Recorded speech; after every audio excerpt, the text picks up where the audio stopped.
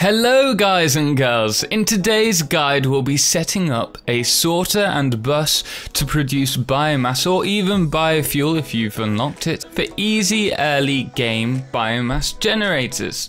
Now, generally, I'd recommend rushing coal, but if not, this is the next best thing. So, first off, as always, we need to plan out the system. First, by placing foundations, and then putting a container at the end point, which is where you want to collect said biomass or biofuel in order to feed the generators. Now from here, our generators will be placed either side, although for particularly large generator setups or chains, it may be ideal to split the final row of conveyors so they enter containers equal distances apart. As you can see here, we have four generators equally spaced between two containers. Now it's super important to merge all of the biofuel or biomass conveyors together before splitting them into the said containers. Because if it's not first merged, you may find a lot of the biofuel is distributed to one side of the containers, such as the one closest to the side of the wood or the leaf constructors.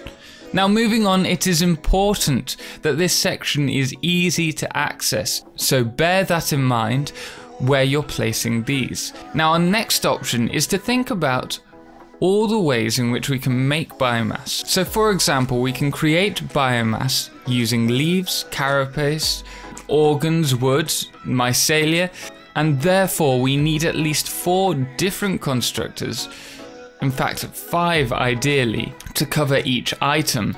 Now if you're collecting a lot of wood and leaves, it could actually be ideal to add a couple more constructors to save bottlenecking.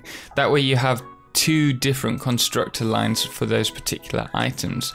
So for this video we're going to place seven constructors, two for leaves, two for wood, and one for both the carapaces, the organs, which may well not be in use for biomass in the future update, as well as mycelia.